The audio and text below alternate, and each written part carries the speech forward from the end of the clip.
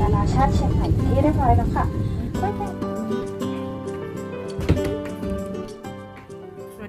ค่ะคลิปนี้นะคะ เรายังอยู่ที่อำเภอพิมายบ้านตากับยายอยู่นะคะ ตอนนี้นะคะเรากำลังจะไปหาอะไรกินนะคะ อยู่บ้านรู้สึกเบื่อค่ะทุกคนพรุ่งนี้นะคะ เราก็จะเดินทางไปเชียงใหม่แล้วค่ะ แต่ว่ามิ่งขวัญไม่ไปด้วยนะคะ พวกเราแวะเข้ามาในร้านคาเฟ่ใน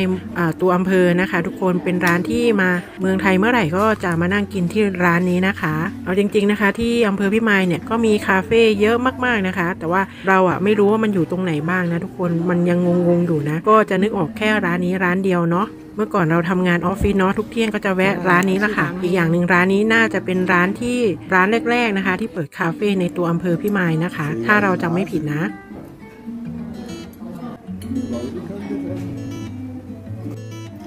เป็นไง อร่อยไหม อะไรคือหวาน ซอสเหรอ แป้ง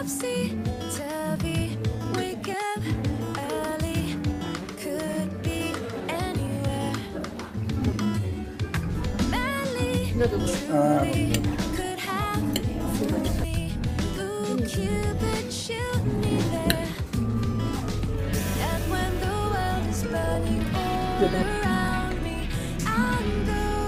one ไหมอร่อยมาก ปีหนึ่งได้กินครั้งหนึ่งเนาะ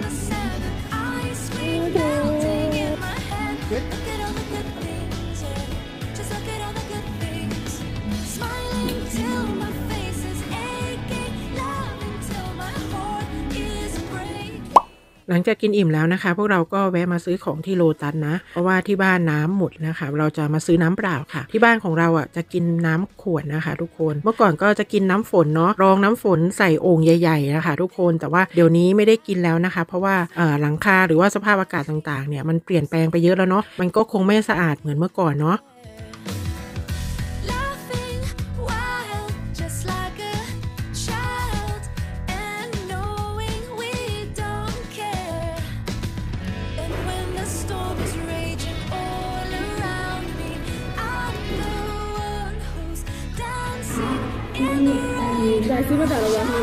rain.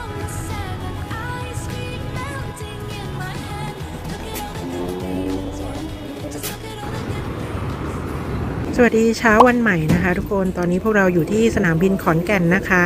ตอนนี้พวกเราก็กำลังจะเดินไปขึ้นเครื่องแล้วนะคะกำลังจะเดินทางไปที่เชียงใหม่นะคะ เมื่อเช้าเราออกจากบ้านจากพี่ไม้นะคะ มาถึงที่ขอนแก่นก็ประมาณ9โมงเช้านะคะ ให้น้องเขยขับรถมาส่งค่ะทุกคน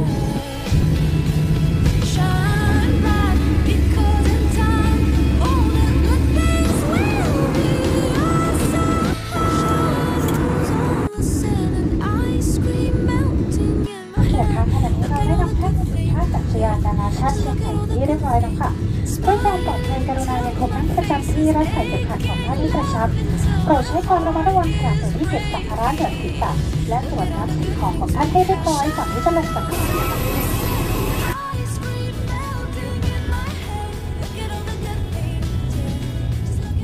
ตอนนี้พวกเรามาถึงที่โรงแรมมาถึงบ้านพักแล้วนะคะ น่าจะเรียกเป็นบ้านพักซะมากกว่านะ เพราะว่าเราได้เช่าเป็นเป็นบ้านพักนะคะ ทุกคนเป็นบ้านแบบไทยล้านนานะคะ ทุกคน อันนี้ก็คือเป็นบริการที่เขามาเสิร์ฟนะระหว่างที่เรารอจะ check in นะคะ แต่ว่าเรามาถึงก่อนเวลาค่ะทุกคน ทีนี้ก็เลยยังเข้าไปพักไม่ได้นะเขา check in บ่ายสองค่ะ อันนี้ก็จะเป็นบรรยากาศนะคะภายในบ้านพักเนาะไม่ใช่บ้านพักมันตรงนี้ตรงบริเวณนี้ก็คือจะเป็นเหมือนที่เรามาเช็คอินนะคะทุกคนนี่นะคะ ก็เหมือนถ้าเป็นโรงแรมก็น่าจะเป็นประมาณแบบว่าล็อบบี้อะไรแบบนี้ค่ะทุกคนเนาะเนี่ยค่ะบรรยากาศแบบสวยมากทุกคน ตอนนี้พวกเรายังเช็คอินไม่ได้นะคะ ก็เลยออกมาหาอะไรกินนะ นี่ก็เป็นครั้งแรกนะคะ ที่พาแดดนะคะ มากินอาหารตามสั่งค่ะทุกคนอ่าเราสั่งหมูทอดกระเทียมให้แดดกินนะแดดบอกว่าอร่อยถูกใจมากๆนะคะ ทุกคนแล้วก็ถูกด้วยนะคะ อันนี้เราก็กินเป็นผัดกระเพรานะ ทุกคนเป็นเครื่องในรวมไข่ดาวนะนี่นะคะ อร่อยค่ะ แล้วก็ราคาถูกมากๆนะ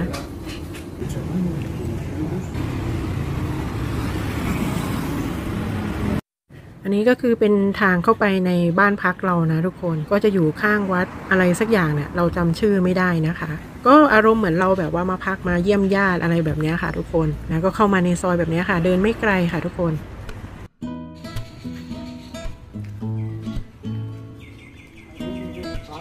มีหนอนน้ยเนี่ย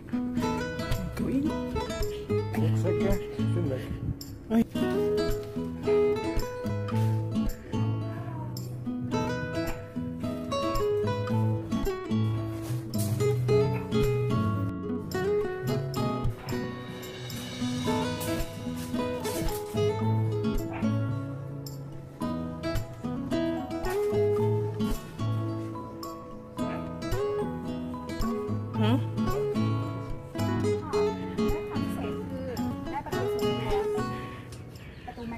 เราเช็คอินเรียบร้อยแล้วนะ เดี๋ยวเราจะพาทุกคนมาดูห้องพักของเรากันค่ะ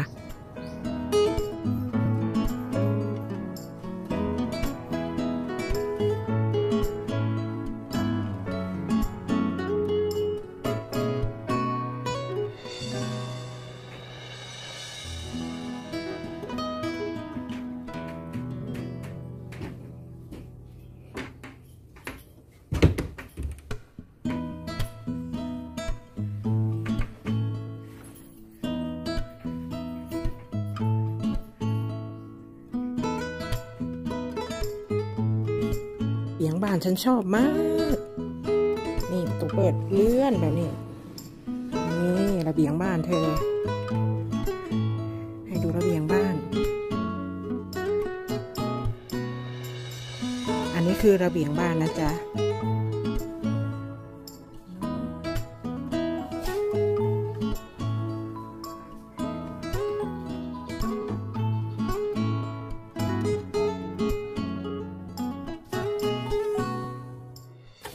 ก็เก็บของอะไรเรียบร้อยแล้วนะคะ ประมาณ4ี่โมงเย็นแล้ว3ามสี่โมงเย็นแล้วนะคะ พวกเราจะไปหากาแฟดื่มกันค่ะ ทุกคน จะเป็นไปกินข้าวก็ยังอิ่มกันอยู่นะ ก็เลยว่าจะไปหากาแฟดื่มกันค่ะ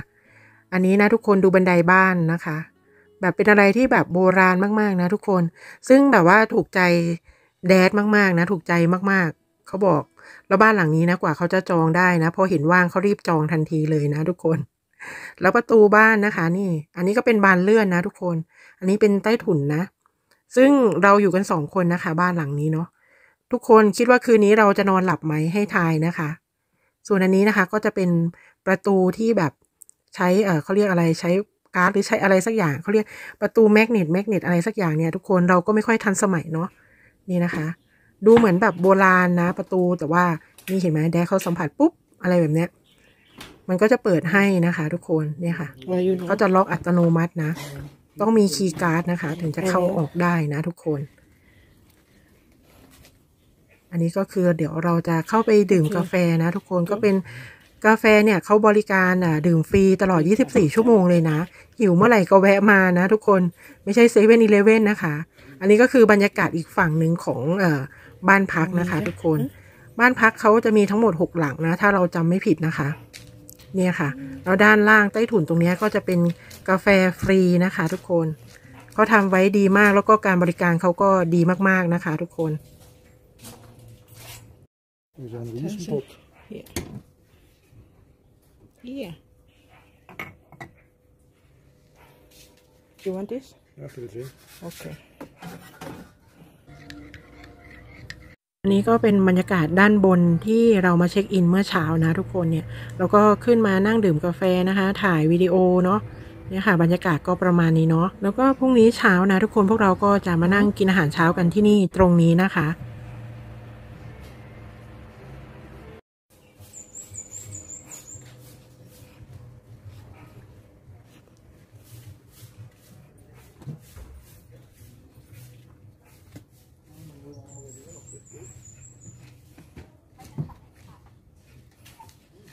Okay.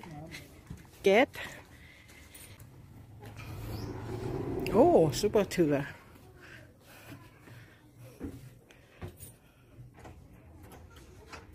อันนี้ก็เป็นบรรยากาศตอนเย็นนะคะ ประมาณ6โมงเย็นแล้วนะคะ พวกเราก็หิวแล้วนะคะ ก็เลยเดินออกมาหาอะไรกินนะคะทุกคน